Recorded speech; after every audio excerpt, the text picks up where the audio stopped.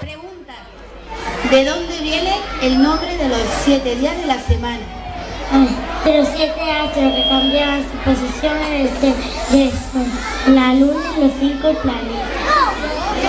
Por eso, el lunes viene de la luna, el martes de Marte, el miércoles de Mercurio, jueves de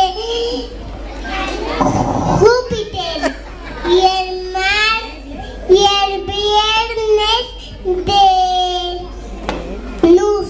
Tu pero el de turno.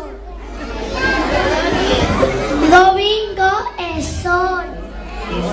Por eso los ingleses llaman a domingo Sade.